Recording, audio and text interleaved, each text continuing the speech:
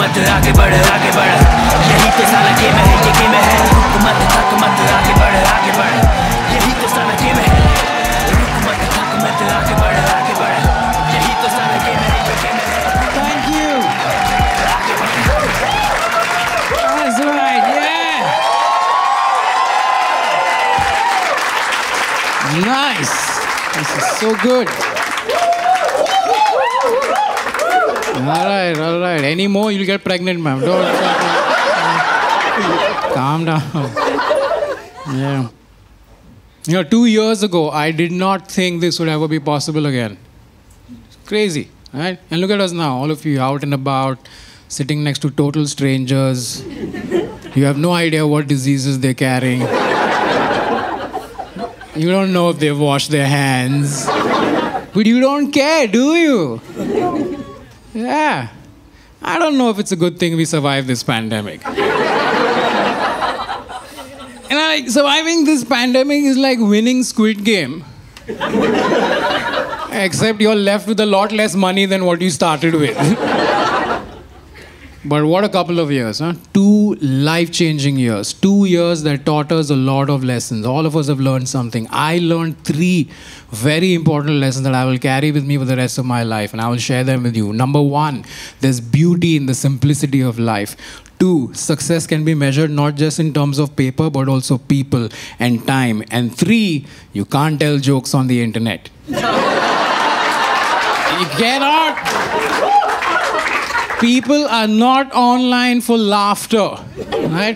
Here's how I found out. Okay, I don't know if you guys noticed, but when the pandemic hit, a lot of people were very unhappy with the way the government was handling the pandemic. You guys remember that? Yeah. yeah? Not me. I love the government.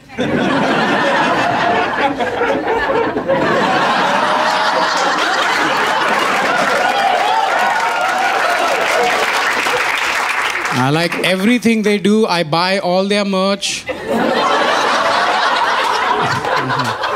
That's right. I'm wearing something orange tonight. You can't see it. It's there. Yeah. But these people, they were not happy, you know, and they were complaining on social media, you know, these ungrateful fucks. right? And they were bitching about how the pandemic was being handled. And as a comedian, I saw this and I thought, like, you know, let me give back. Let me lighten up the mood. Let me put my skills to good use, right? Uh, so I posted a joke. And this is the joke uh, I posted that pissed a lot of people off. All I said was this the upside to the government's terrible mismanagement of this pandemic is that once this is all over, there'll be considerably less traffic. That's a good one, right? Come on. Yeah, I mean, come on. Like, have, have you ever been stuck in a traffic jam and you look at the guy in the car next to you and you wish he wasn't there? That's what this is. People did not like the joke. They decided to let me know. they started commenting. And one person wrote, I watched two of my neighbors die of COVID, and now their children will grow up without parents. What is wrong with you? A few seconds later, another comment. I lost three relatives and two friends to COVID. How could you do a joke like this? And I'm like, this is turning into a competition.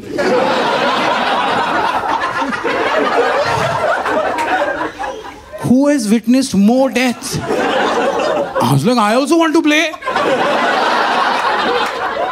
So I replied to each of their comments with a picture of the Constitution. That's right, yeah. Yeah. That's right. Yes, these jokes are going to be smart, okay? I'm just. Eh, yeah, some of you got really confused there. I saw that on your faces. You're like, Constitution. What is he talking about? Haven't heard of it since 2014.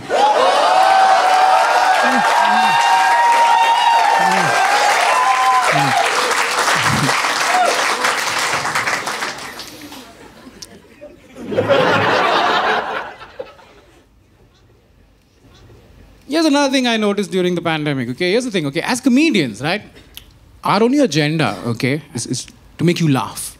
That's all we care about. The laugh. money also, but mostly the laugh. You know, so we tell you a joke, you laugh, we feel happy. We tell that joke again and again and again, all over the country, all over the world, until eventually we will record that joke, put it out there on the internet, and then a few years later, that same joke that all of you laughed at is pissing people off. Here's what happened, okay? There's a comedian in the Indian comedy scene, and he has a special on Amazon Prime, okay? And in this special, there is a joke about reservation. Everybody familiar? Yeah? Uh, reservation, for those of you who don't know, is affirmative action by, the government of India uh, aimed towards uplifting marginalized communities, most of who are people who are victims of the caste system. Right? So South Africa had apartheid, America had slavery, India was feeling left out.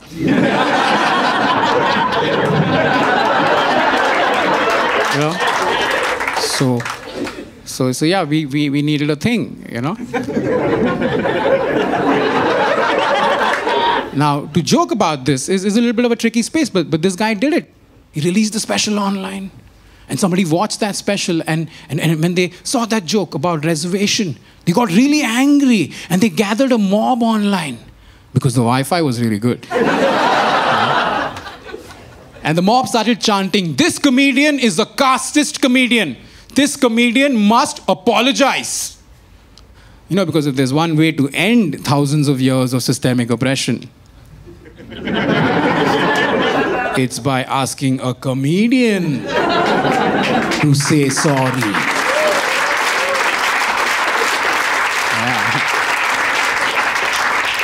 This comedian's notifications started blowing up. He's like, Why are people tagging me in all these posts? What is going on? And the crowd just went, Mr. Comedian, you have a special on Amazon Prime, and in that special, there is a joke about reservation. It's not funny, it's casteist. Say sorry. And that comedian is like, I have a special on Amazon Prime. That's how long it's been. This guy had to then watch his own special. Just to be sure of what he was apologizing for. And he then said sorry. And here's another thing I've observed about the mob, okay, online. Their only agenda, no matter what they claim, their only agenda is to make somebody apologize. Yeah. That is all they care about. And here's how I know have you ever seen any follow up tweets? After the outrage has died down? Have you ever seen a tweet saying, Mr. So and so, it's been six months, what are your views on gender pronouns? Never happens. They just want that apology, and that's exactly what happened here. But now they have to leave him alone because he has apologized, you know? But the Wi Fi is still good. So here's what the mob does. Okay, they, they, they gather everybody in, in a huddle. They're like, all right, guys, come here, come here, come here. Let's see who else has done similar jokes. And then they go on a treasure hunt, digging through social media. And when they find somebody, they go, Pikachu! Abish Mathew, say sorry! And I'm like, Abish? Out of all the people in the Indian comedy scene, that have said shit in the last 10 years.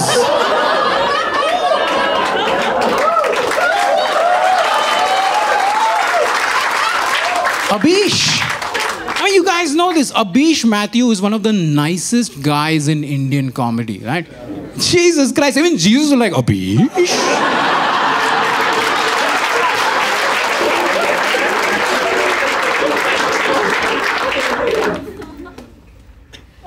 So I found this whole thing very funny. I found it funny how we, we, we told you a bunch of jokes, you laughed, and then we put those jokes online, and the same jokes are pissing people off. So I wanted to do a joke about that observation. So I posted another joke. because Mumbai, I never learn. a very harmless joke. All I said was this I would like to apologize for all my jokes from 2021 that you may find offensive in 2031. Mob reached my phone. They're like, Daniel Fernandes is a casteist comedian. And I'm like, no, Daniel Fernandes is a Catholic comedian. oh, yeah. yeah. And, and, let me just say this, okay? As a Catholic, uh, I don't understand the caste system. I don't get this complex human Jenga that you play.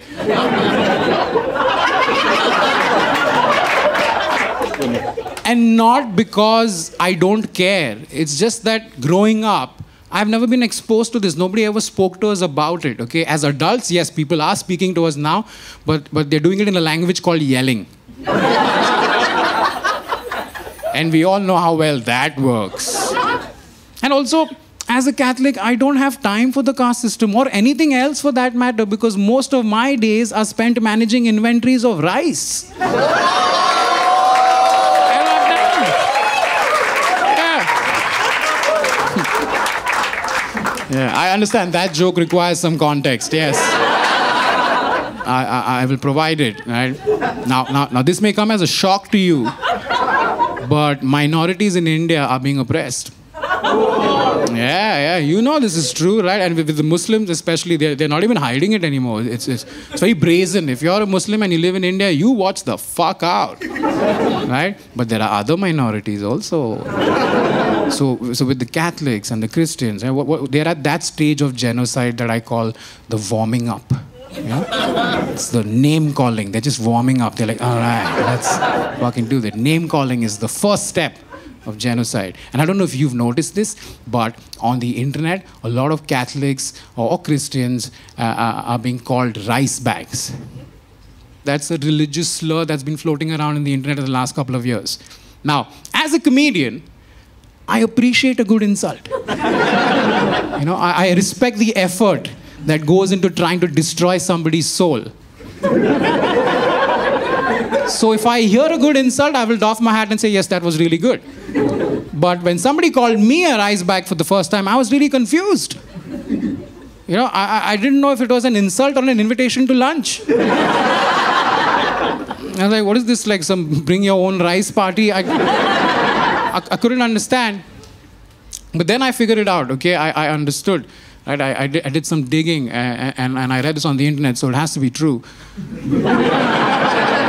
Now, apparently, a lot of people in this country are convinced that hundreds of years ago, everybody in India belonged to one religion. I'm not going to say which one.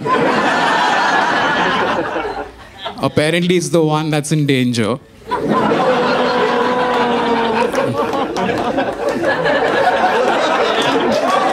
Yeah, I'm just saying.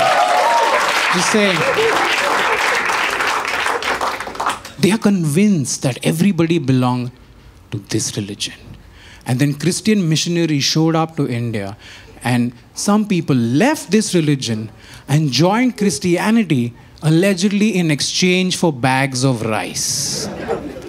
So, to remind us of the treachery that was committed all those years ago when we did not exist, we are now being called rice bags. Right? Now, again, a good insult is like a gun, which works best when aimed in the right direction. Now, if you're somebody from this religion and you apply this logic and you call a Christian or a Catholic a rice bag, what you're doing is you're taking that gun and you're turning it on yourself. Hmm? I'll explain, okay?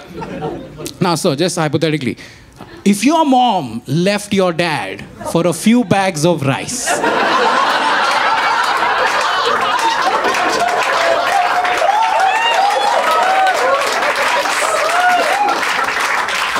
who would you ask questions of? Your mom or your dad? I mean, what kind of an asshole was your father? How was he treating her? What was he saying to her? No, you can't eat at the same table as me. You can't drink the same water as me. No, you can't enter the temple when you're on your period. I don't know what. I don't know. I'm just saying, hypothetically.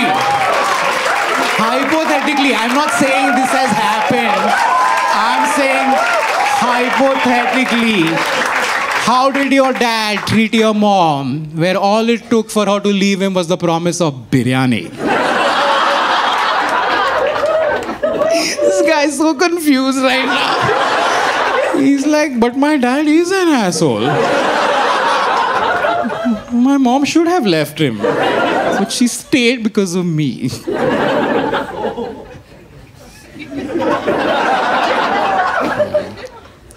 Pandemic hit us in waves. Yeah, it was in waves. I, I didn't know if we were fighting a disease or whether we were at the beach.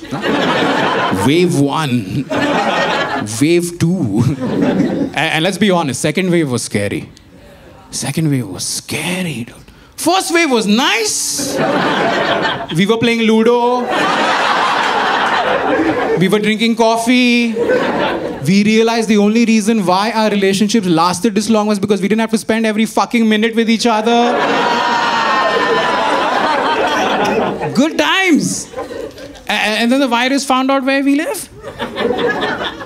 Insane. Like I remember the peak of the second wave, right? Like if you were on social media, Instagram for instance, it was very scary. Instagram looked like a hospital ward. Do you remember that?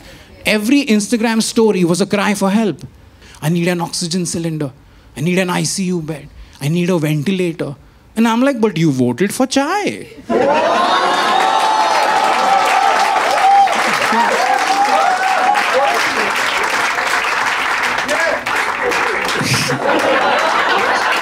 Drink it. And, and anyone who had any amount of following on social media, right, they were getting a lot of messages in their DMs asking for help. They were saying stuff like, hey, I need such and such thing. Can you please share this with your followers? Can you please amplify my cry for help? Now, as somebody who has a little bit of a following on social media, I got these messages too. And like I said earlier, in a difficult time, I'm happy to help out if I can make a difference. But I also have an obligation to my own followers. I can't blindly share anything that comes into my inbox. I have to verify the information, right? So whenever I receive these messages asking for help, saying I need such and such thing, I will reply and ask them, who did you vote for? and, and if they said not chai, I would share the message. but if they said they voted for chai, I would block them. That seems fair, right? I told my friend I did this and he was like, bro, this is exactly what the hospital should have done. He's like, yeah, yeah, just think now if you, you have COVID, you go to the hospital, yeah, hi, I have COVID, I, I need an ICU bed. Who did you vote for? Not Chai. Come, come, come, right this way. We have an ICU bed for you. Come, come. There's, there's air conditioning, there's Netflix, there's Wi Fi. Come, come. Achhe din idhar hai.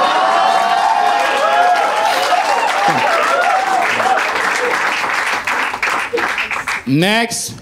Yeah, I I have COVID. I need an ICU bed. Who did you vote for? Chai. आप वहां जाइए क्यों क्योंकि hospital वहीं बनेगा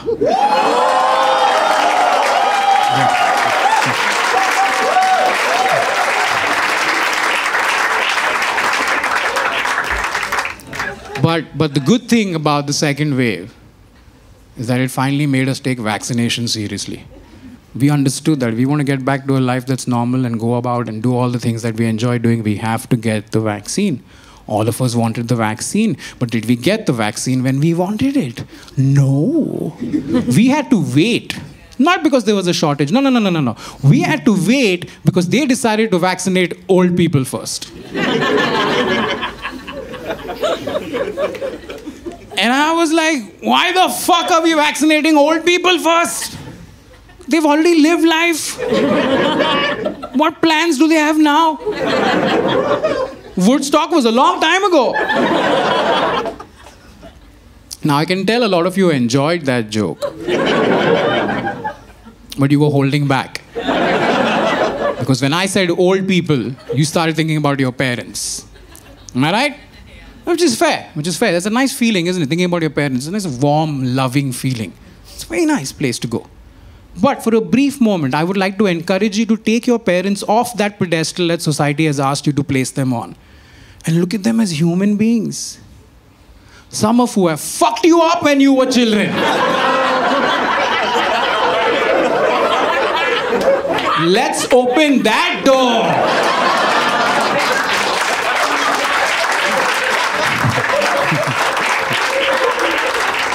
We have to acknowledge a few ugly truths.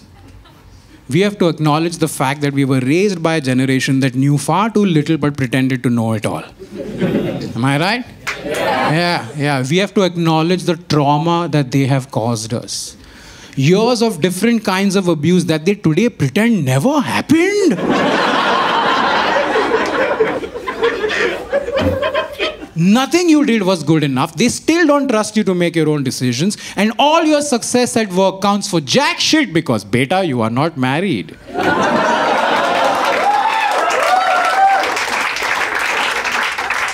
Why are you not married, beta? Well, because mom, dad, I watched the two of you have a go at it. and I'm not particularly impressed. And in the event that you do get married, where is the baby? Where is the baby? There, there, there is no baby in, in, in, this, in this house. Why is there no baby here? Is your penis not working? And if you do have a baby, why does this baby not have a penis? Hmm?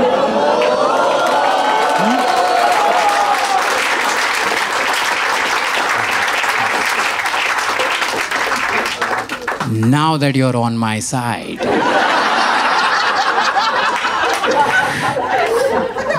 Why were we vaccinating old people first? I asked my friends this question. One of them was like, Dan, I'll tell you why we're vaccinating old people first, okay? Because if I step out of the house and I get COVID, I could come back home and pass it on to my parents. and I'm just like, bro, you're 35. Why the fuck are you still living with your parents? I have to wait for a vaccine because you have no ambition. All the people are not laughing at that joke. Guess who they're living with? But thankfully, I, I did get the vaccine eventually. I'm triple vaccinated, guys. That's right. That's right. You guys vaccinated as well? Yeah. Yeah. I got Covishield. Anybody else? Covishield. Round of applause. Yeah. Yeah. Yeah. Covaxin. Anybody? Round of applause. Hey, get the fuck out of here. How dare you show your face in public? That seems to be the vibe, doesn't it? That's what I love about this country. We will divide ourselves along any lines.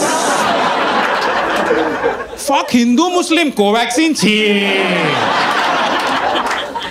कागज दिखाओ It's insane. Like I had a friend who actually asked me, Dan, would you fuck somebody who took Covaxin?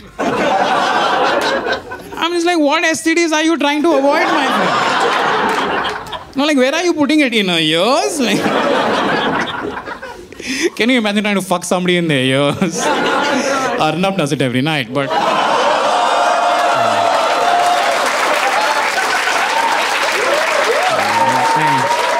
Just saying.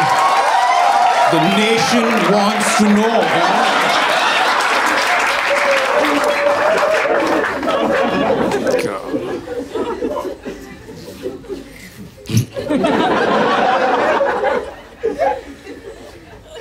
Lockdown was intense, huh? It was, it was crazy. I think it's the most time any of us have ever spent in our own homes.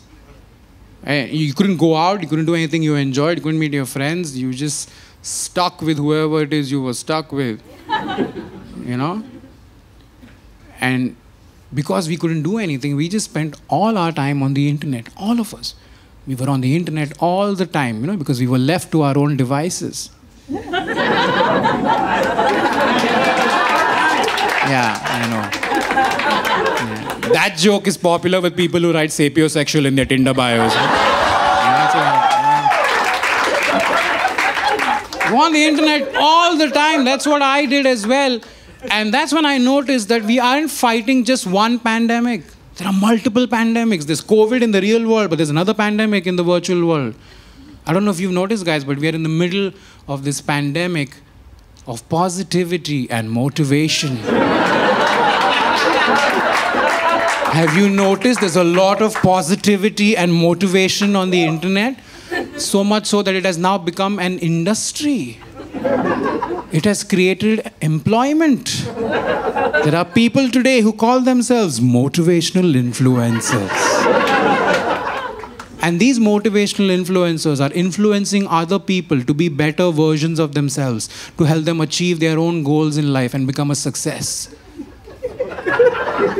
And you've seen these videos, right? And like a lot of this advice is, is very heavy, it's very deep, and there's this amazing soundtrack.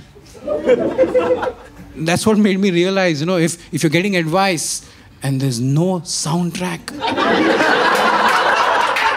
That's bad advice. So I would assume that all this knowledge is coming off the back of your own experiences, Mr. Influencer.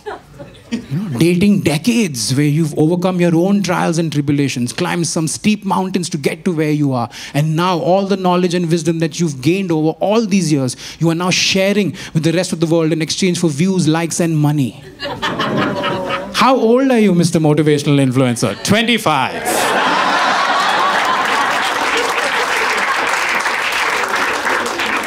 you know, if you ever find yourself standing at the edge of a cliff and wondering where it all went wrong for us as a society, just remember that we took life advice from fucking 25 year olds. Okay? Like, I watched this video this one time, one of these motivational influencers, and he comes on screen with some nice fancy music and he goes, Be positive. no matter what is going on in your life, be positive. It will all work out.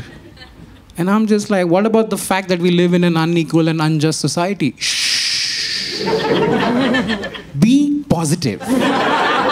Like, you, you can't make blanket statements like that. There are other things like privilege you need to consider. Not everybody starts at the same point. Shh. Be positive. Bro, what is wrong with you? People are being persecuted over things that they have no control over, like the color of their skin, the religion that they're born into, or their gender. Shh drink chai.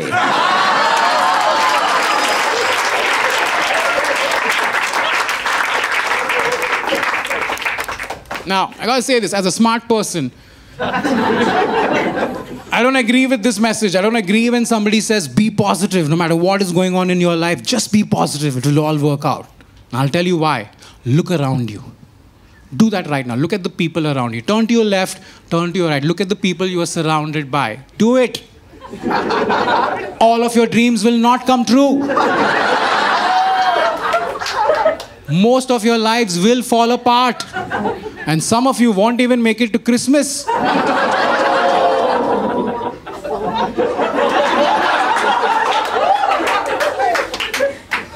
The fact that you are sitting here on a Saturday night enjoying a comedy show like this, with everything that's going on in the world today, is evidence that you live a life that's better than 90% of the people on this planet.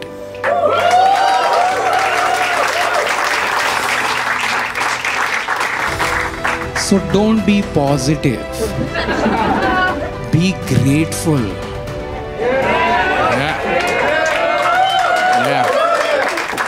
What do you know? I'm also a motivational influencer.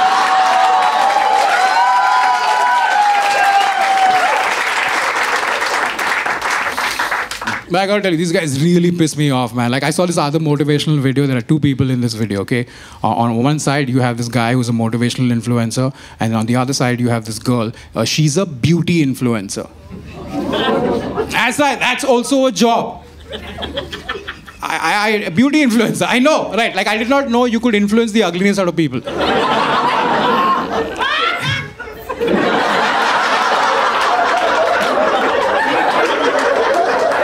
People at the back, how ugly is that guy?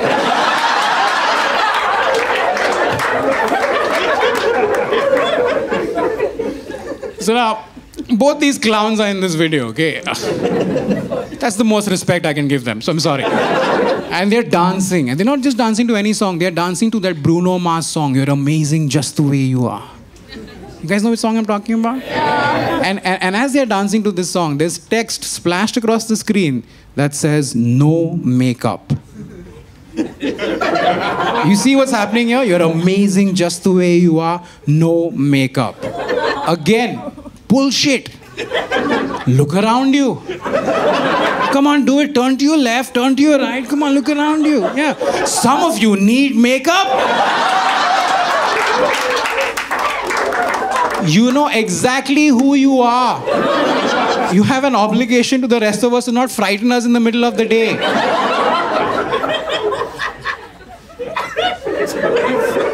There is a very good reason why Sephora is such a big brand all over the world. It is because they have understood that it is humanly impossible for us to accept ourselves the way we are. And true happiness only comes from Instagram likes. Yeah. So fuck these guys for saying you're amazing just the way you are. You're not. You suck. Life sucks. You'll have a few moments of happiness and then you'll die.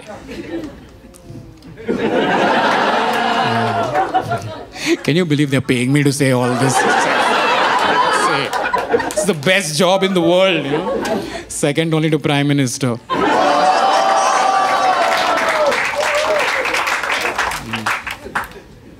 The internet uh, on most days is a very toxic space. You guys agree? Yeah. But sometimes, if your heart is pure, you'll find gold on the internet.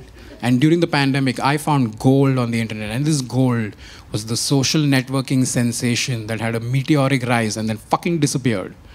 It's called Clubhouse. Do you guys remember Clubhouse? Yeah? That audio only social networking app where everybody was on their phone, like, hello, excuse me, I, I, I also, excuse me, may, may I, may I, I, I have something I would like to share. Uh, I, I want to share my feelings. Not now, mom. Uh, yeah, uh, just, excuse me. Remember that? We were all fucking addicted. Anybody over here, fans of Clubhouse? Were you guys on Clubhouse? Round of applause. Yeah, yeah, yeah, good, good. Yeah, the back, that's nice. Clubhouse is popular with these people because nobody talks to them in real life. it is what it is, you know. Because I was on the app for three days, and after day three, I was like, fuck this shit. I have friends.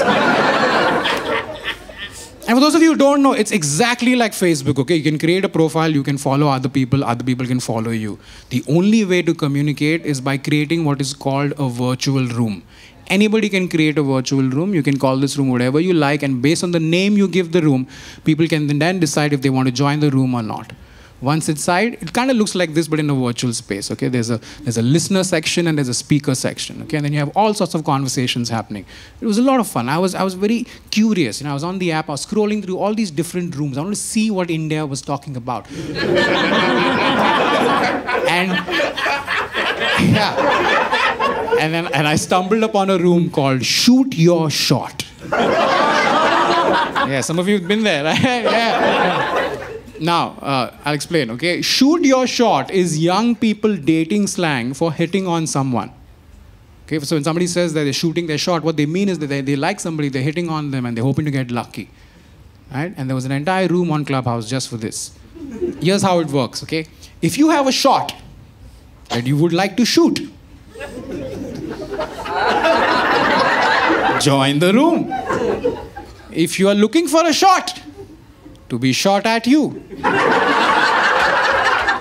or if you have low standards when it comes to dating, join the room.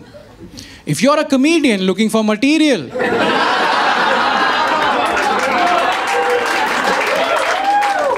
join the room. Once inside the room, uh, you, you can see everybody who's in there by their profile pictures and their display name, right? So you scroll through this interesting human meat menu. and, and if you see someone you like, you hit a button called raise hand. Right? And then the moderator will pull you up onto the speakers panel and you just go, I would like to shoot my shot at so and so person. You name the person. They pull that person up as well. And then person A hits on person B in front of everybody. You see what's happening here? It's a very elite version of walking on the streets of Delhi.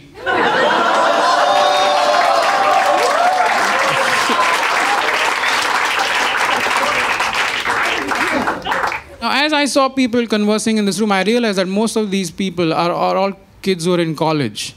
Right? And, and that's when I realized that uh, as an adult, I've aged a little. I have aged along with my generation because I could not relate to whatever they were saying. You know, I'm going to shoot my shot. Like I was like when I was in college, I never said shit like this. No, like if I when I was in college and if I liked a girl, I wouldn't say stupid shit like I'm going to shoot my shot. That's for later.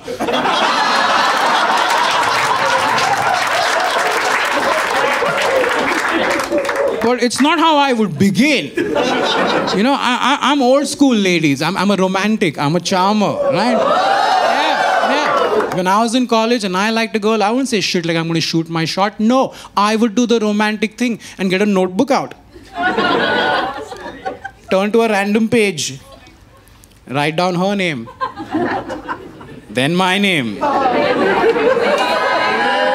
Draw a heart around both our names. Close the book, put it in my bag, never tell her how I feel. Because that is how we were taught to love. Remember that growing up, your parents would always say, Don't talk to people of the opposite gender, suppress your emotions, never express yourself. And look at how well we're doing with relationships today. I was blown away by how nonchalantly they would all come up one after the other and they would be like, I would like to shoot my shot at so I would like to shoot my shot. I would like to shoot my shot. And I was just like, bro, with my generation, when somebody shoots a shot, we have to reach for tissues. You dial it back a few decades, there were no tissues. Do you remember going to your grandparents' place and wondering why their curtains were so stiff?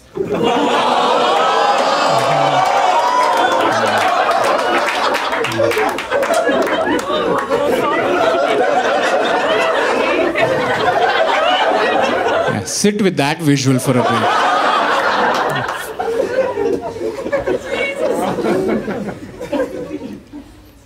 But this doesn't end yet. There's a second part to the shooting of the shot. Because once the shooting of the shot is done, and the person who shoots the shot has to ask the person who received the shot if they enjoyed the shot that was shot at them. And if the answer is yes, then this person has to ask the other for permission to slide into their DMs. That's right. I'll explain. Yeah. Sliding into the DMs is young people dating slang for shooting your shot, but in private. Which, if you ask me, is a great place to begin. But there was one guy in this room, there's one guy in this shoot your shot room who stole the show. He blew everybody's mind. He came up and he said, I would like to shoot my shot at so and so person. And he named the guy. There's another guy comes up, two men here, right? And then this guy says something that blew everybody's mind. He said, I'm convinced that we are meant to be together And I can prove it. And the technology isn't there yet, but you could tell everybody was going, ooh. and he then goes, I will drop the first line of a shairi and you will complete it. Yeah. And this is the first line of the Shayari autumn के बाद आती है ठंड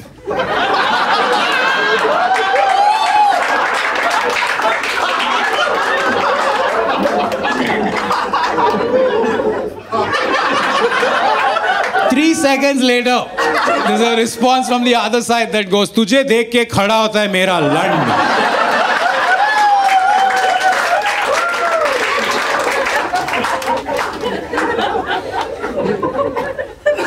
And I'm guessing that the moderator of this room was away from his phone and caught only the last part of this interaction. Because when he came back, he was fucking furious. He was like, Who said that? Who said that? How dare you use such language in a classy room? And I knew straight away this guy was going to grow up to be the chairman of his housing society.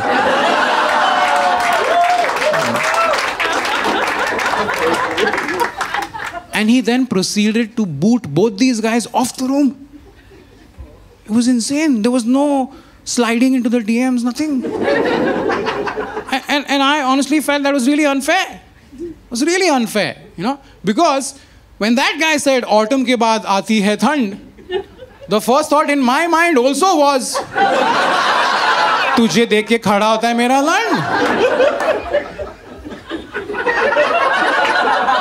Here's how truly unfair it is. When I said autumn ki baad aati hai thand, the first thought in all of your minds also was tujhe dekh ke khada hota hai mera land. Not one of you thought I want a hot cross bun. No.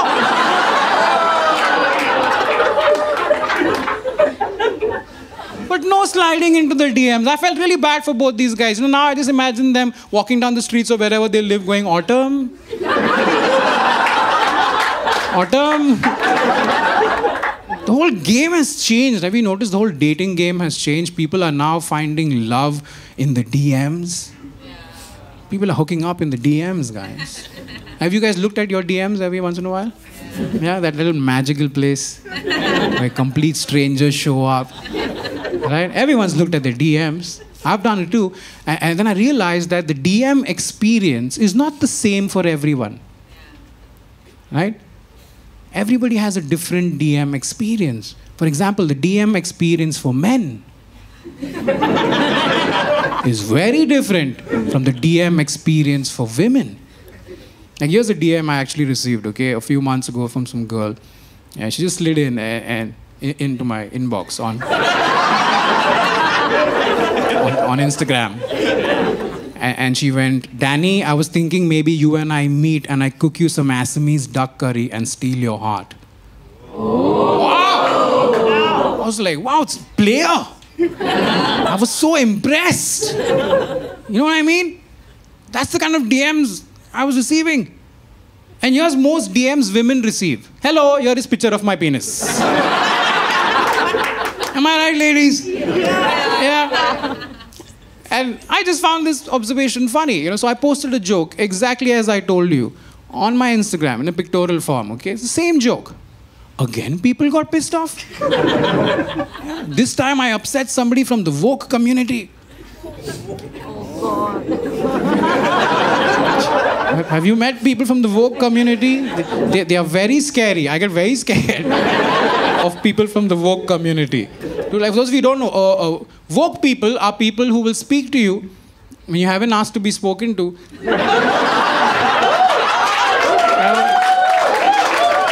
and, and, and they'll share their feelings with you about something that they're very passionate about. And as you're listening to them, you're thinking to yourself, you know, actually, that makes a lot of sense. You know, I'm kind of on the same side uh, uh, of the argument. I, I see your point. But the manner in which they speak to you, the tone, the choice of words, the condescension, the self righteousness makes you want to stab a kitten. You know what I'm saying? You guys feel me, right? Like woke people fucking annoying, dude. Woke people are the vegans of linguistics.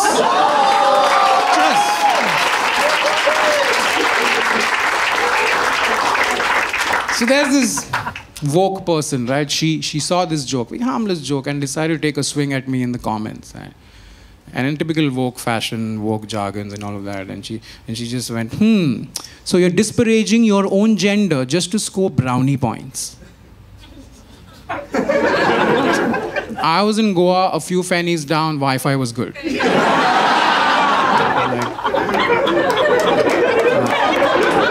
I am responding to this.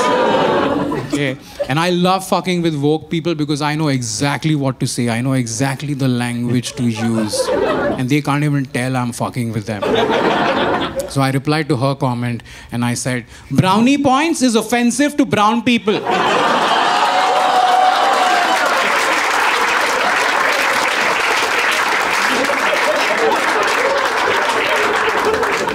Points should be of all colors. Let us work towards a more inclusive form of online banter. Check your privilege.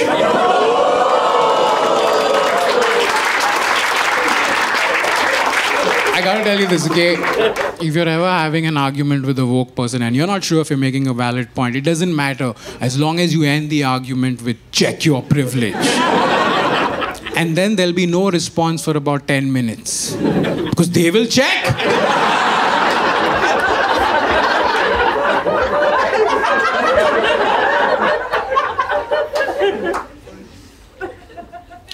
And here's another thing I've noticed about some of my fans on social media, okay?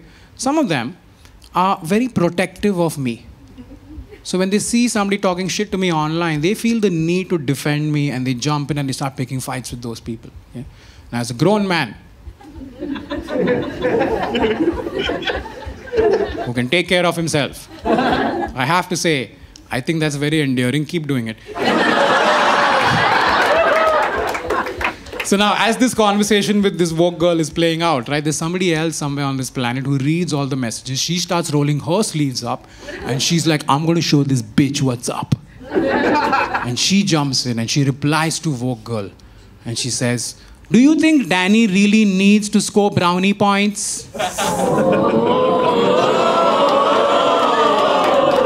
Maybe you haven't had to endure the horrific experience of receiving an unsolicited dick pic in your DMs.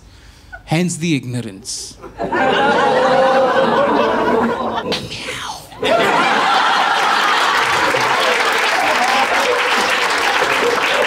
That's exactly how she said it.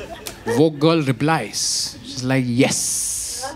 I've never had to endure the horrific experience of receiving an unsolicited dick pic. And I was like, that, that- that's really good. That's nice in a way, you know, to be shielded from such horror. In, in a way, if you think about it, that's also a privilege. Ugly privilege, but it counts. Hey, hey, it's a thing. I- it is what it is, guys. Come on, you know this is true. There, there, there, are, there are creeps out there who are going through random women's profiles on Instagram, and when her profile shows up, they're like, Anna. she.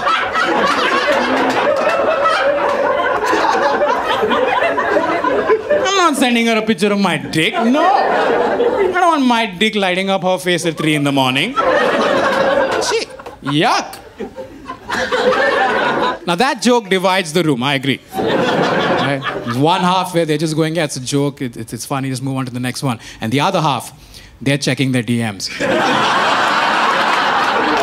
This is like, not even one, like.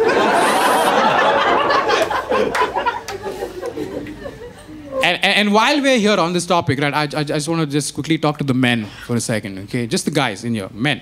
I, I'm just very curious. I just want to ask you, where do you get the confidence to send a picture of your penis to a complete stranger, an Indian penis that too? Why? Why would you send a picture of your penis if the person on the other side has to zoom in to see it? Like, why? Like, what do you think is happening? What do you think is happening on the other end of this interaction? You think she picks up a phone and looks at your dick and goes, This is exactly what I was looking for? Seema auntie, look at this. See.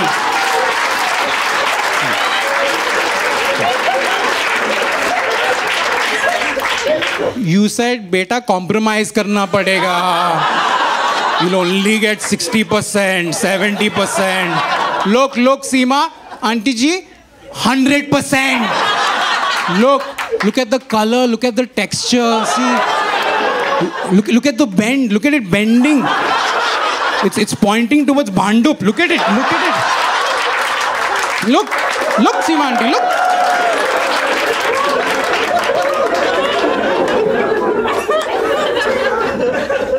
This is the one I want, Seema. This is the one I want. I don't care what is attached to it. I don't care how it was raised. I don't care how it treats me. This is the penis I want. I shall call it Bittu.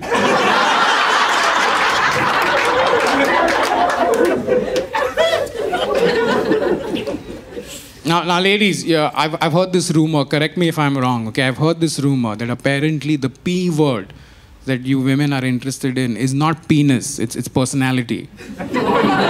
is that right? Yeah. Yeah. I did this joke at another show. The, some woman at the back was like, "I live in Gurgaon." there is no personality here. Only penis.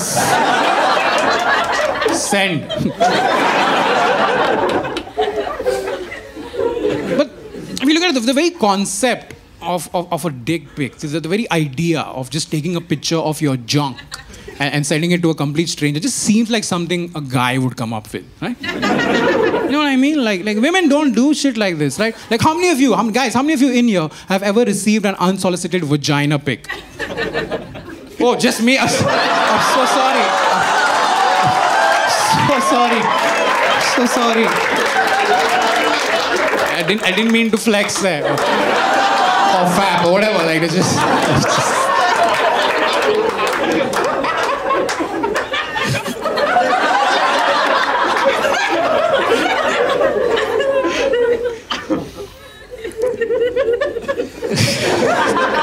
As you can tell, I get misunderstood a lot.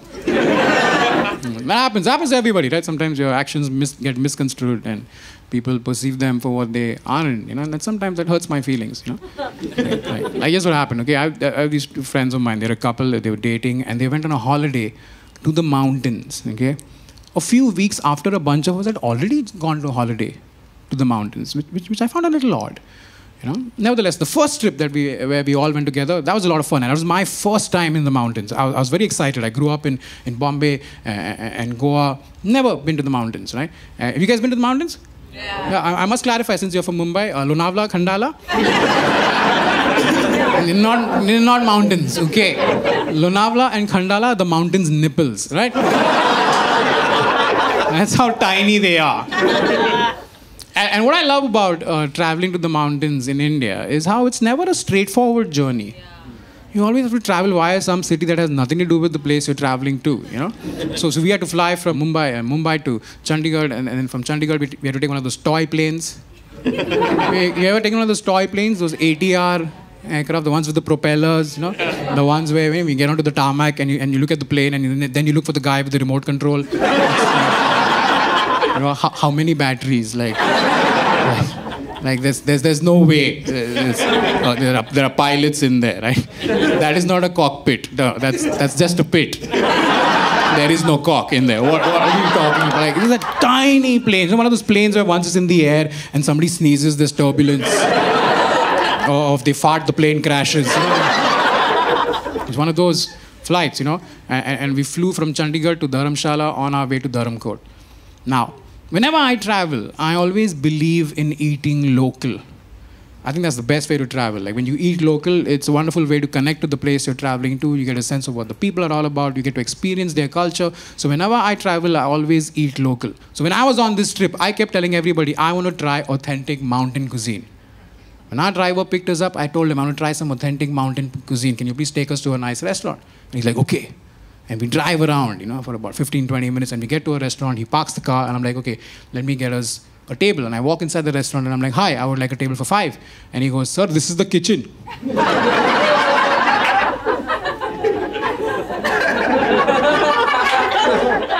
and I'm just like, where do your customers sit? He's like, outside. And I'm like, that's where my car is. There only. And that's when I realized how beautiful the mountains of India are. You don't have to complete your construction.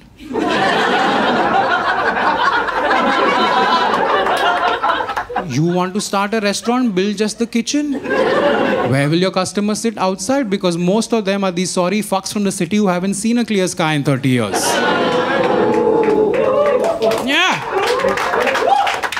And they were fucking right. And, and he, he, set up this table for five out there in the open. It was beautiful. We had these lovely mustard fields in full bloom in front of us, the mountainside and the pine trees behind us, cold, crisp air, clear blue skies, perfect setting for a meal. The waiter shows up, he's like, What would you like to eat? And I was like, I want to try authentic mountain cuisine. Sir, I know just the thing. You must try Rada chicken. and I was like, What? He's like, Yes, Rada chicken. Mumbai. I know you're feeling what I felt too. Okay? Because the word Rada is ours. It is unique to the city of Mumbai. Nobody uses the word Rada the way we do. Okay? In case you missed the memo, the word Rada in Mumbai means some shit went down.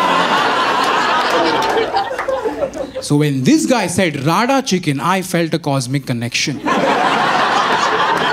I felt the universe was speaking to me. And I was like, that is the dish I want. Get me Rada chicken. I want my lunch to have a backstory.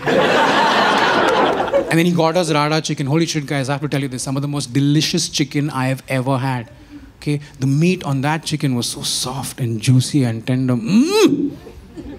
Every time I took a bite, I was convinced that while this chicken was alive, it had manners.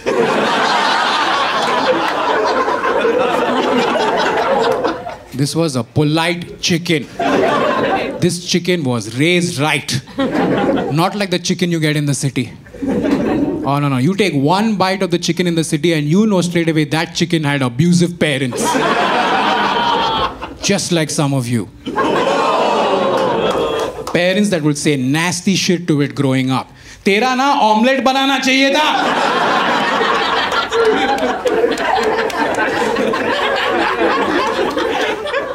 And that chicken just goes through life very sad and alone and depressed. You? And can't get therapy.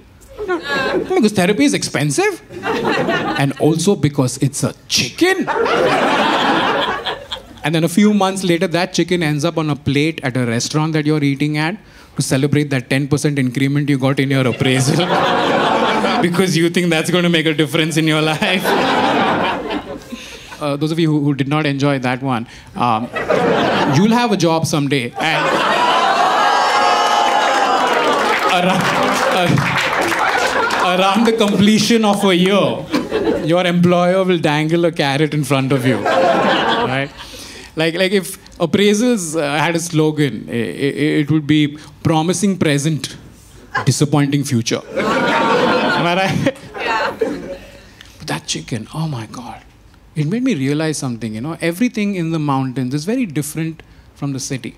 Just like regular everyday stuff that you would take for granted in the city, very different in the mountains. Like, how many of you have been to the mountains? Oh, yeah. Round of applause. You been? Yeah, yeah. And, and, and um, if you notice, things are very different, right? Especially when it's cold, like sub zero temperatures, holy shit. When you have sub zero temperatures and you go to the mountains, everything is different. For example, when you have to use water, you can't just use water. No, you have to have a conversation with yourself. You have to ask yourself important questions. Questions like Does this body part really need washing?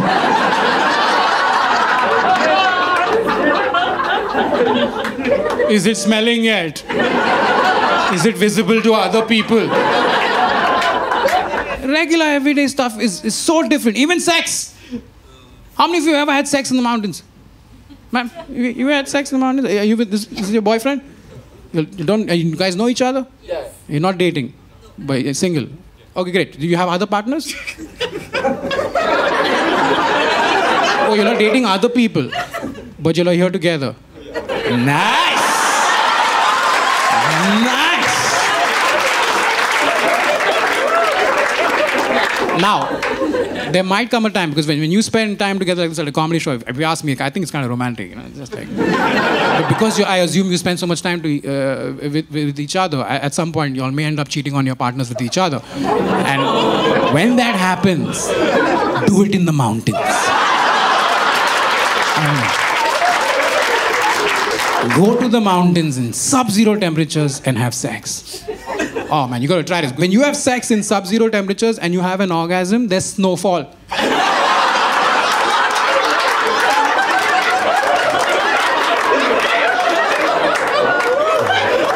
Just like,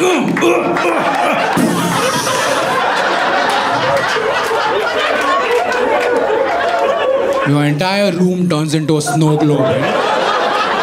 filled with your jizz flakes, you know, or flakes, whatever you want to call it. Flakes just sounds like something you'd eat for breakfast, isn't it? It's just like, what would you like for breakfast? I'll have some flakes and, and oats and banana. It's insane. And, and because it's so cold, some of the crystals, these jizz flake crystals, are, are really perfectly formed. You know? And if you take them and put them under a microscope and really zoom in, you can see the disappointment in your children's eyes. It's amazing. Amazing. Gotta try it, man. You, you fuck her four times, you can go skiing off her back. Like,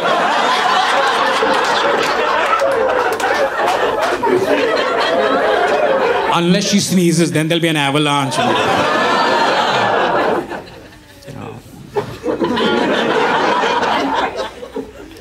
So, that was our first trip to the mountains, you know. And then a few weeks later, the, these two friends of ours, this couple, they, they, they went for another holiday to the mountains. And, and this time they were there for about 10 days. And, and for every day that they were in the mountains, they would post something on Instagram. Yeah, because if you're on a holiday and, and you're not trying to make everybody else feel like shit, are you really on a holiday? And I noticed they were posting stuff, and one day I realized that it's been 24 hours since either of them have posted on Instagram, which I found a little strange. So I thought, you know, let, me, let me message them. I, I dropped them a message. I said, hey guys, it's been 24 hours since you've posted on Instagram. Is everything okay? Both messages did not get delivered. I said, let me try calling them. I made a call, both numbers not reachable. I then decided to post a message in the Friends WhatsApp group. Everybody over here part of a Friends WhatsApp group? You know what I'm talking about? Those 8 to 10 people that you really like? Huh? But then there's another WhatsApp group that has only 3 or 4 people from this group. That is the real Friends WhatsApp group. And if you're sitting here going, what the fuck is he talking about? I don't know. That's because you are not in that group. Yeah. So there's this proxy friends WhatsApp group, the real friends WhatsApp group, and there's you and your tears. That's the spectrum of friendship, right? So I posted in the proxy friends WhatsApp group. I said, "Hey guys, it's been 24 hours since either of these two have posted on Instagram. Both numbers are not reachable. Has anyone spoken to them?" A few minutes later, another friend replied saying, Yes, I spoke to them last night and they said that they were going on a trek to a place that has minimal connectivity, so they will not be reachable for a day or so. I said, Okay. A day later, they returned, switched their phones on, read all their messages. The girl, she messaged me privately and she said, Hey Dan, I think it's really sweet that you were looking out for us while we were on a holiday. I really appreciate it. Thank you. And that pissed me off. because I do not, under any circumstance, identify as sweet. I had to clarify that the only reason why I asked was because I listened to a lot of true crime podcasts. and I was hoping to avoid having to identify two highly decomposed bodies. Yeah, that's the kind of friend I am. With you till the end from a distance. Hmm.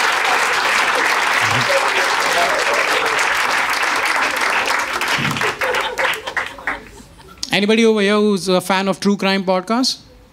Nice, nice. A few people. That's that's really cool. That's cool. The rest of you obviously at least heard of it, right? It's a very popular genre, true crime, all over the world. You may have seen some documentaries on Netflix and stuff like that. But I feel like the more authentic way to consume true crime is through audio podcasts.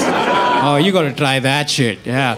And, and these are episodic, okay? And every episode is an in-depth narration of how somebody was gruesomely murdered and how the police got involved, whether they solved the case or not, what happened to the perpetrators, all packed into these episodes, 60 to 90 minutes. And every time I listen to these podcasts, for some reason, I find them very calming. Do you guys feel the same way? Yeah? I couldn't understand why at first, but then I kind of started making sense, you know, because these are all true stories, and most of the people in these stories, right, they're not career criminals. they're just, yeah, they're just regular, everyday people like you and I who just made a bad decision. you know, it, it could be anyone. You know, it could be somebody from your family, somebody from the office. You know, somebody who's sitting next to you at a comedy show. you never know, uh, you know, uh, what someone is truly capable of. Even if you've known them for a long time and you feel safe around them without your partner. You know, at a comedy show. You know, you know, you know, you know, you never really know what someone can do. So I guess what's happening is that as I'm listening to these stories, as I'm listening to all the horror unfolding in these lives, I'm thinking to myself, you know, my life is fucked up, but not this fucked up. And, I start feeling better. know, I guess what I'm saying is that uh, I'm really grateful to all the people who have unknowingly laid down their lives for my mental health. Know? You know I mean? I mean, think about this, right? Everybody has to die at some point. We're all going to die, but how many of us are giving back to society? You know? No, no, no one's doing a podcast about somebody who passed away of a heart attack in their sleep. Know, but 69 stab wounds, you fucking legend. Well, I have to caution you, okay? If any of you are thinking of trying this, be very careful. Uh, true crime is a very dark genre. It's a very dark space, okay? Some of these stories are very disturbing. So ease your way in. I'm not kidding here. Some of the stories, oh fuck, they can mess you up. Like this one story I heard really fucked with me, man. It, it was about this retired couple in America, right? Uh, one night they went to sleep at about 9 p.m. At about 3 a.m., an intruder broke into their house with an axe in their hand and made their way upstairs to the bedroom where they were sleeping. And then, without any provocation or warning, this person attacked that couple in their sleep with that axe. It was brutal, it was bloody, it was just very, very disturbing. The husband died, the wife miraculously survived. She had to undergo months of reconstructive surgery just to look human again. It was vicious. The police got involved, they carried out an investigation, and a few weeks later, they announced that the person who did this was their 21 year old son. And when they revealed this part of the story, I, I was fucking shocked. I was like, man, how do three lives intersect in such a tragic manner? No, I mean, think about it. You, you meet somebody, you fall in love, you get married, you have a kid, and, and you do your best and you try to raise that kid, and you hope that this kid will grow up to be a responsible member of society. But then the very person that you gave life to comes back like a thief in the night and takes yours away. It was insane. I was really disturbed. I remember after the episode was done, I took my headphones off, just laid back on my couch, and I'm just thinking to myself, and I'm just processing this. I'm trying to make sense of it. And I'm just like, you know, my parents should be fucking grateful.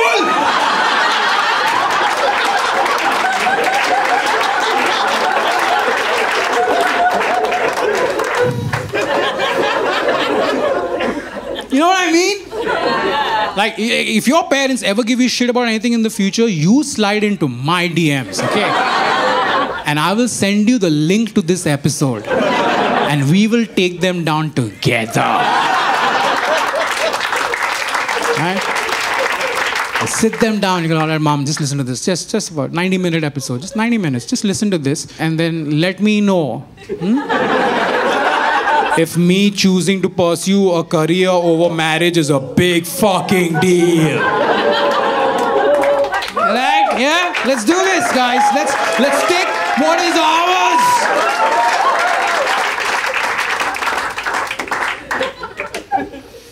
But man, I was really disturbed. Like I have and I have this thing, right? After I listen to an episode of a true crime podcast, I Google this, right? Google the story to see, and I Google the story. Holy shit, there are pictures of the crime scene on the internet, dude.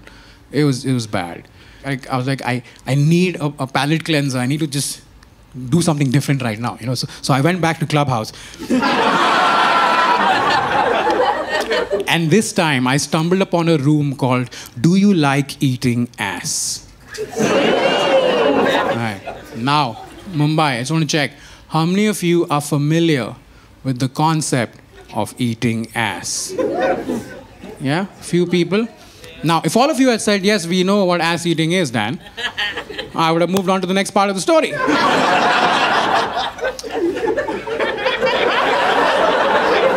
but being the consummate professional that I am, I need to make sure that everybody's on the same page and nobody's left out. Which is why now I will proceed to explain in great detail what ass eating is. All right, okay. Take notes. Huh? Okay, now, ass eating is a sexual fetish that's been around for a long time. I don't know when it became a rage in, in India, but it's been around for a while, right? And if, if you're looking to spice up, you know, uh, your, your sex life with your partner, whoever, you know, yeah, this is something you could try. And, and here's one way you can do it. What you could do is you get your partner to lie down in front of you on their stomach, right? And, and you get in behind them. Position yourself accordingly. You put one hand on the left butt cheek. You put the other hand on the right butt cheek. And then you pull the butt cheeks apart. I call this move the Moses.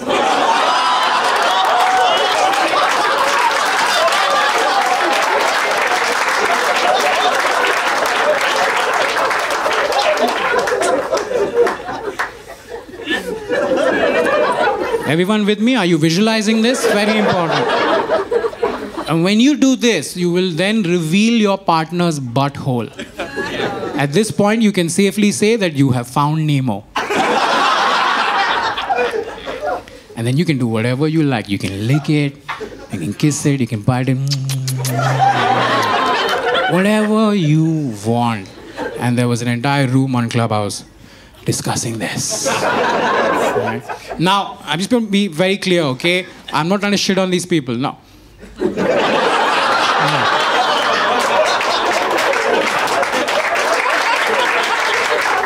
I'm a very sex positive person. Anything that you want to do with somebody who's consenting and of age, go for it. Knock yourself out, right?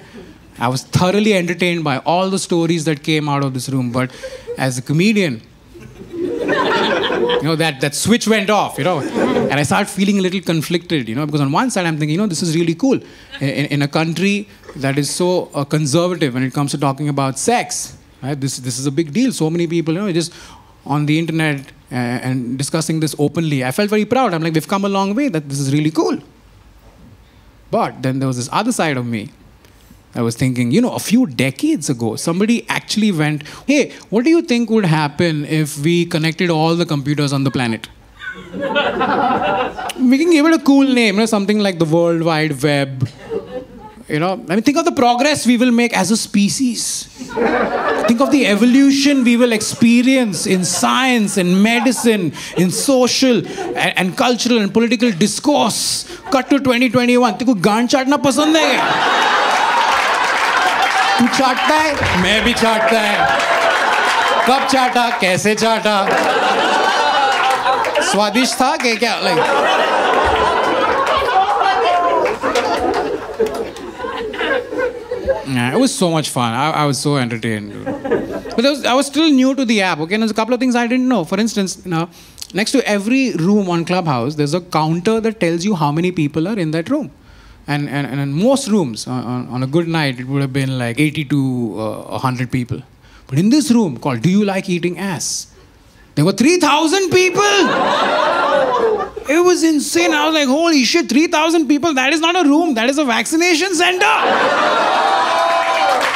सबको लगाओ Another thing I did not know was that when you join a room on Clubhouse, all the people who follow you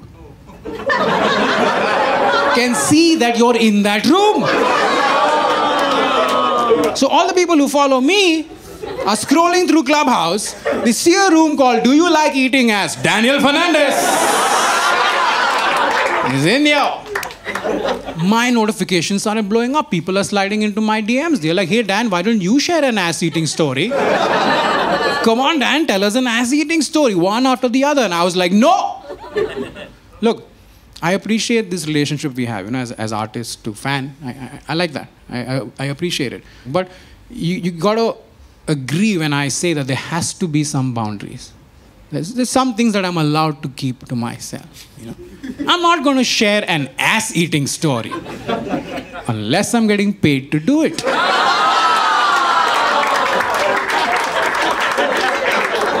So guess who's getting lucky tonight? All right, here's my ass-eating story. So this was October 2016. It was one of those 3 a.m. hookups, you know. You ever done a 3 a.m. hookup? You know, one of those hookups where it's too, too late to go to sleep, but too early to go for a jog, but you still have energy, so, you know, what do you, what do, you do, right? Booty call. So I had this girl come over to my apartment. We are, we're both butt naked in the living room. I'm sitting on the couch. She's on her knees on the floor. yeah, she knows her place. And hey, hey, hey, come, hey, hey, hey. I'll have you know that she likes that position. It's one of her favorites, okay? She exercised her agency as a free, independent woman. So don't get mad at me just because you want to feel good about being a feminist.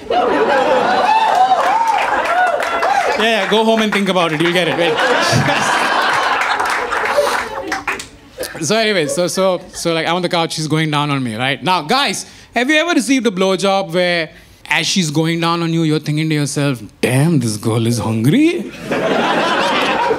She came here to eat? You know what I'm talking about, bro? Yeah, yeah. Yeah. yeah. I was getting one of those blowjobs. Basically, what I'm trying to say is this blowjob was very intense. Right? This blowjob was so intense, I couldn't tell if it was going to end in an orgasm or an episode of a true crime podcast.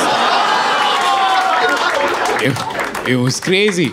And then at one point, she did that move. You know, ladies, you know that move that you do when you're going down on a guy, and as you're going down on him, you make eye contact? Yeah, you know what I'm talking about. Look at you. Look into my eyes when we discuss this. You know what I'm talking about? That move. You just look at me, I'm looking at you, right? That's... I have to tell you, we love that move, right, guys? We love that move. Oh, that move is mm, dessert. Was, if you actually think about it, if you actually think about it, it's kind of romantic, isn't it? It's like it's like you're having a conversation with each other through the eyes. You know? But she can't talk, her mouth is full. so we had one of those moments, right? Where she looked at me as if to suggest, it's about to get nasty. And before I could even process or react to what just happened, she did the Moses and she went in. She just started eating my ass. Guys, she ate my ass like she was at a buffet that was about to shut. It was crazy. It was wild. Like at one point, she actually looked up at me and went, This is Sparta!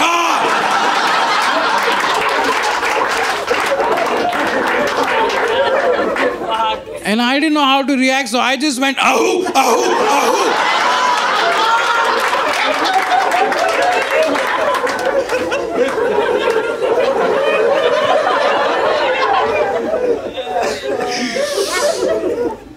And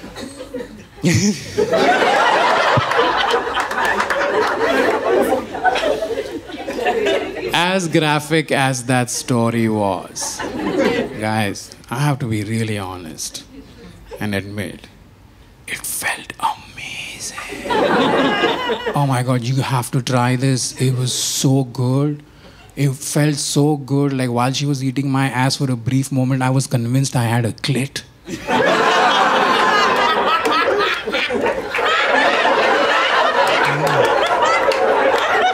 After she left, I was like, what is going on down here? Is this my G spot? Like,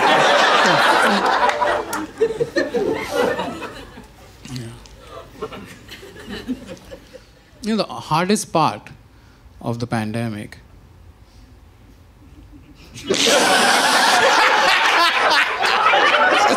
Look at all of you, you're just like.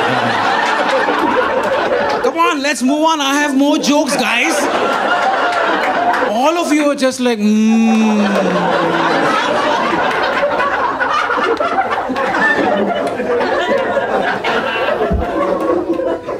Yeah, the- the hardest part of the pandemic was the uncertainty. You know what I mean? Like, like you didn't know when it was going to end. You didn't know how long this whole thing was going to last. Like, is it three months, six months, three years? We didn't know.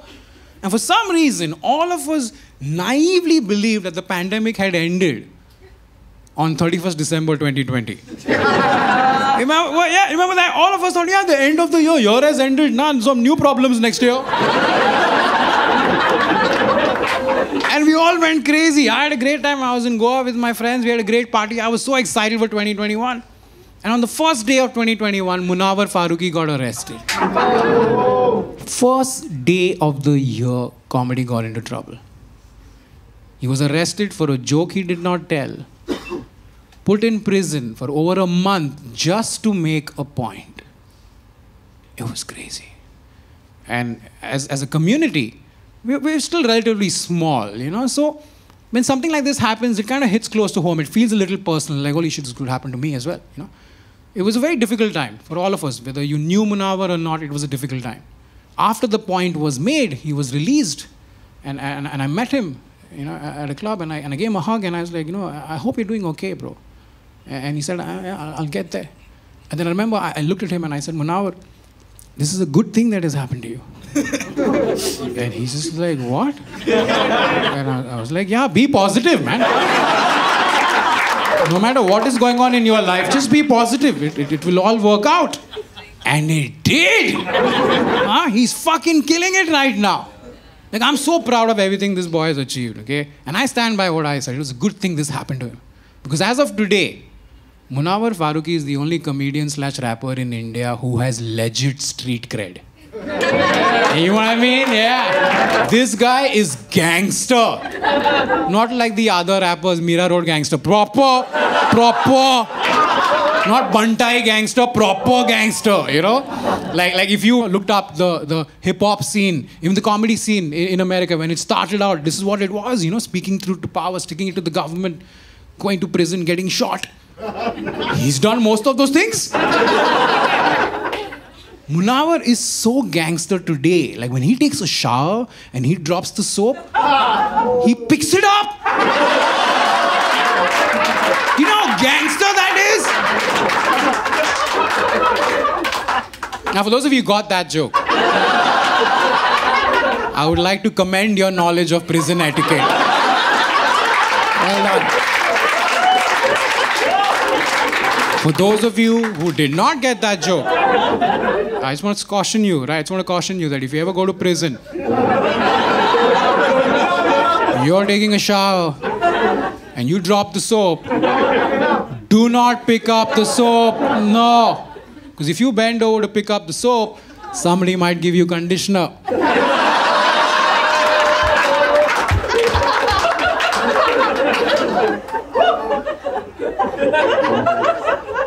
That's what's happening to us in the comedy scene today. Like, you know, we, all of us are just one joke away from getting into some serious fucking trouble. And I thought I was in trouble too.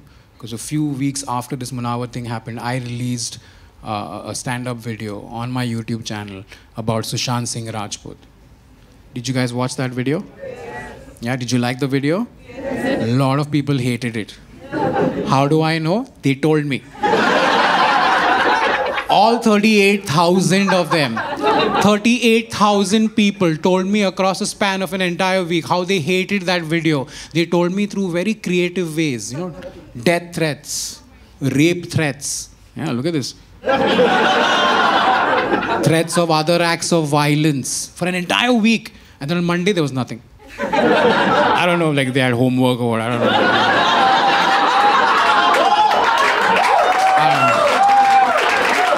But if you watch the video, you will see that there isn't a single joke about Sushant in that video. All the jokes are about the people who took advantage of his death for their own gain. But sadly, we live in a world where people have access to the internet but not an education. You know what I mean? Yeah. And I was attacked by a very unique Indian community. They're a community that calls themselves SSRians. Have you heard of these people? Yeah? Have you heard of these Wi Fi warriors? And you know what I found funny? I found really strange, rather, that I don't recall hearing about these SSRians while Sushant was alive. Do you? I, I don't. I, I don't remember. Like there was a time in Sushant's career where he was literally pleading with fans on social media to buy tickets to watch his movie so he could continue having a career in Bollywood. That would have been a good time for these guys to go, hey Sushant, SSRians here, we got you, bro. I'm just saying, you know, maybe if these SSRians had made themselves known while Sushant was alive, maybe he would still be alive.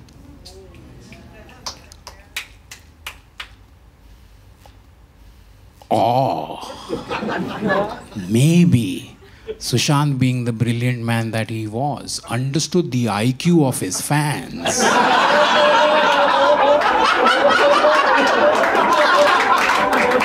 and, and then took the drastic step of acting in that movie Drive, produced by Karan Johar. Gotcha, bitch!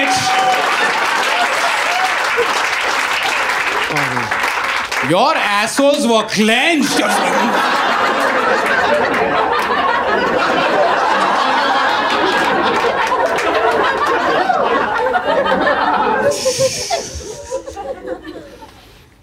but I gotta get serious with you for a second, okay? It is not psychologically normal for a single person to be at the receiving end of so much hate and abuse. Think about this. You have a confrontation with somebody you know and it ruins your day or your week.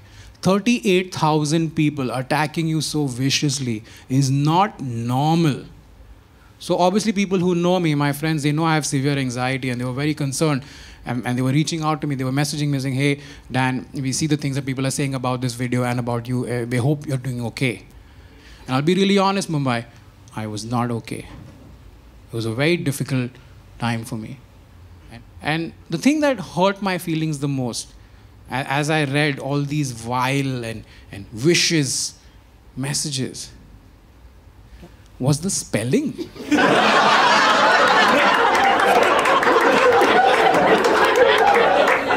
It was fucking atrocious.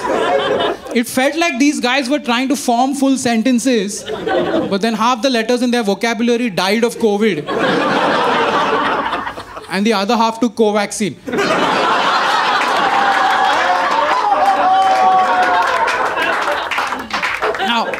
I know woke people are going to get annoyed again and be like, Dan, Dan, Dan, Dan, Dan. Daniel. it is elitist to make fun of people's spelling when they're trying to communicate with you.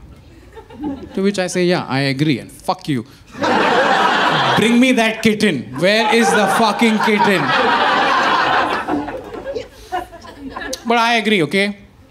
It is a bit of a dick move. It's a bit of a dick move to make fun of somebody's spelling if they're trying to communicate with you. I'm on board with that. But if the person trying to communicate with you is threatening you with death, rape, and other acts of violence, I think it's okay to make fun of their spelling. You guys agree? Yeah?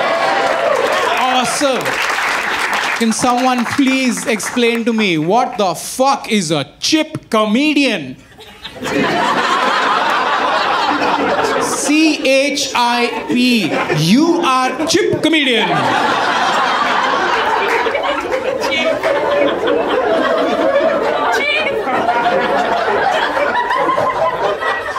And I was like, Uncle or Lays?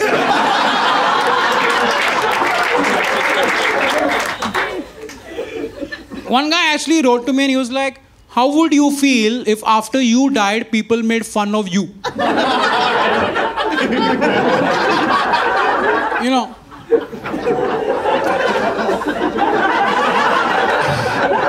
Over the last 11 years of my career, I've often indulged and taken on uh, a troll on the internet, but mostly for my own amusement. But never once have I ever had to explain the concept of death.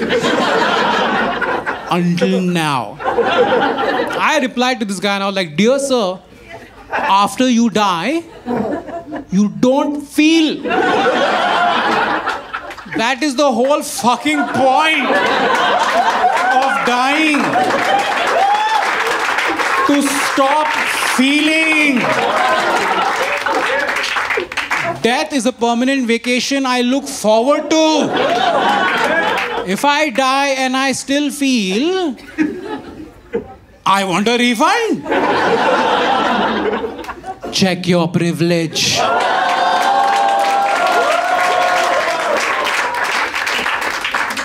But I have to hand it to these guys. Okay, they tried their best to get under my skin. They tried to mess with me real bad too. They tried. Right? Here's another thing they did. Okay, they took my face and they morphed it onto women's bodies. Not just any women. Women who are dancing in item numbers. You see what's happening? My face on women's bodies, all these women are dancing in item numbers. Now, I'm like, how is this supposed to piss me off? I had to think about it for a while. And then I figured it out. You know, in their world, in the world of these people who call themselves fans of this great actor, in their world, women are considered inferior. So they thought that by putting my face on a woman's body, I would feel insulted. But these guys clearly underestimated how much of an asshole I truly am. because I took all those pictures and videos and I shared them with all my friends. And I was like, bro, I'm hot as a guy and a woman? What? Winning!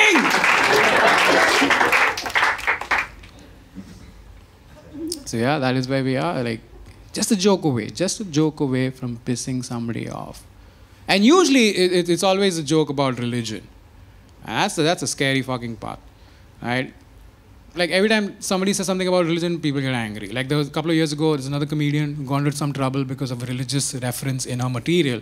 And the mob went crazy. They were like, they're all like this. The Indian comedy scene is Hindu phobic. And I'm like, uh, no, we are not. We're not some organized unit that selectively targets people of a specific religion.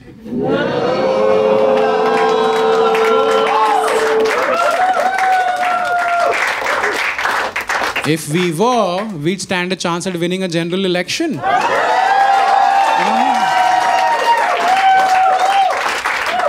If you would have had Prime Minister Kunal Kamra, you don't know. You don't, you don't know. You don't know. I honestly don't understand. I do not understand why people get so upset over jokes about religion. You know, I would have to assume for you to get so angry, you are obtaining something of tangible value from this religion, something that is directly benefiting your life. Let me give you an analogy, okay? I have four cats. And all four of these cats depend on me for everything that is vital to their happiness and existence food, shelter, Wi Fi. How do you think there's so many cat videos on the internet?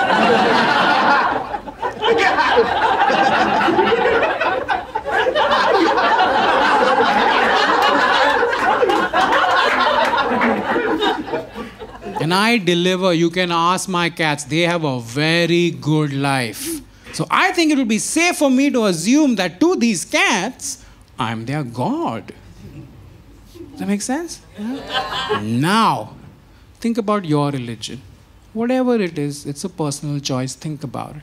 Think about the God that you worship, the one that you pray to. Think about all the things that you ask of this God for your life. And then think about how your life is going. think, think, think, think. Your career, how is that going? Your finances, how's that going? Your love life, how's that going? See, I'm not saying God doesn't exist. I'm just saying maybe He's not that into you.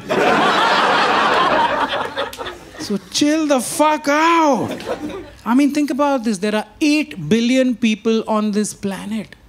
God cannot answer everybody's prayers, which is why He picks His favorites, gives them whatever they want, and they go on to do amazing things like buy Twitter and run it to the ground.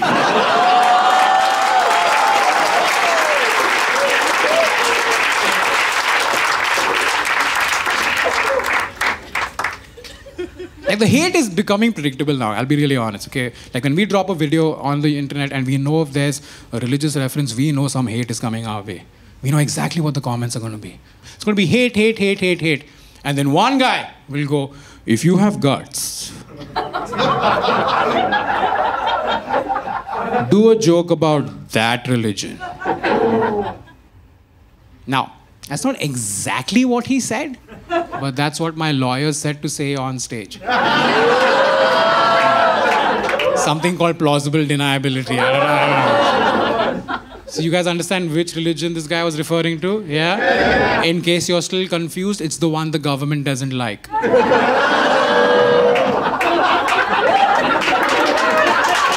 Let's cover all our asses tonight, guys. Hmm? So this guy went, if you have guts, do a joke about that religion and see what happens. Now, I'll be really honest. I, I, I, I don't have the guts to do a joke about that religion. That's the bad news. The good news is you don't need guts to do a joke. You just need skill. Something that I have proven repeatedly over the last 11 years that I have in plenty. Which is why now, just to prove this guy wrong, I will do a joke about that religion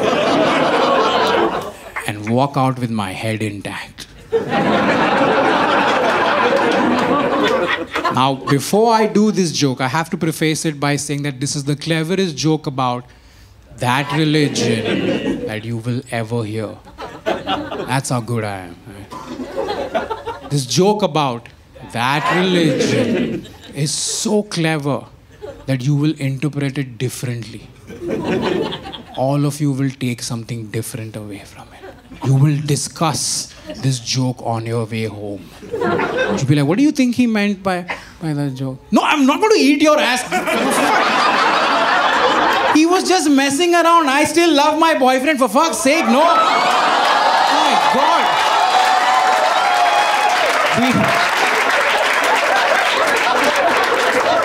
We're never stepping out together again.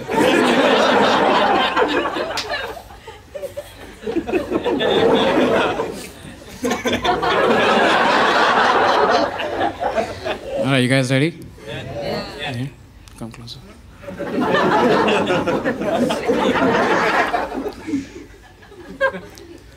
Jesus, Buddha,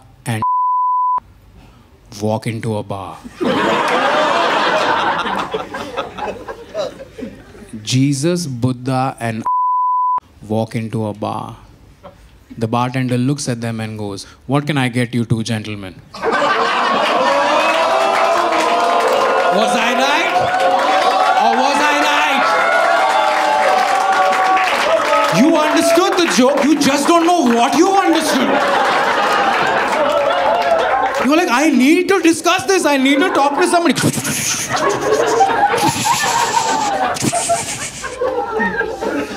You're just like, what do you think? What do you think he meant? Like, do you think he meant that because nobody has ever seen the bartender couldn't see him either? Is that why he said two gentlemen?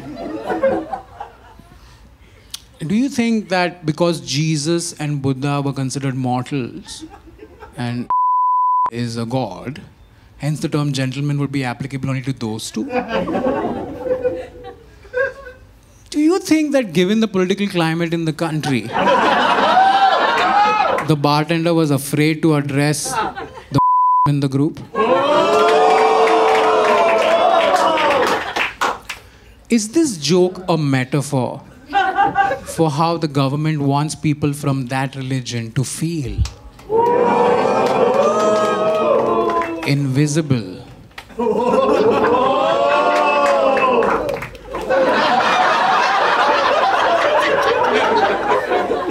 Has Danny driven home the point that this joke is very layered? It can mean many things. And if you actually think about it, it's kind of pro that religion. So there's no need to behead him for it.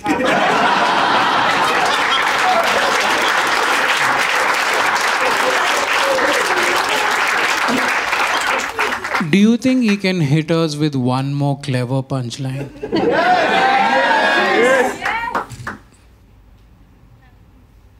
In case you were wondering, Jesus asked for a glass of water.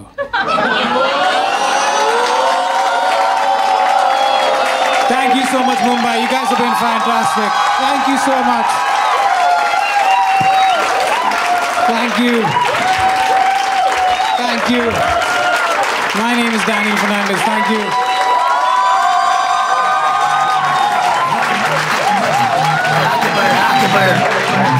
आगे बढ़ आगे बढ़ आगे बढ़ वक्त मिला है साथ में तो स्माइल कर। स्माइल कर। अच्छे वाले जोक को तो टाइम कर।